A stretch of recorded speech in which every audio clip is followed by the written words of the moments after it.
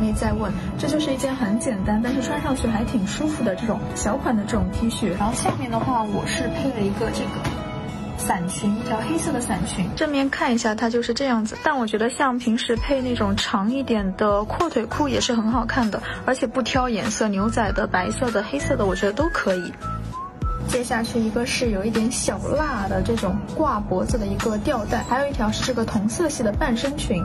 这个挂脖的这个吊带我还挺喜欢的，而且我之前也有买过这种类型的衣服，是那种纯色的，一条纹的，我觉得也挺好看的。对它这里就是能够帮助修饰一下这个肩型吧。正面看的话就是这样子的一个效果，半身裙的话就是这样子的。半身裙不是那种刚刚那种伞裙，它就是直直的这一种。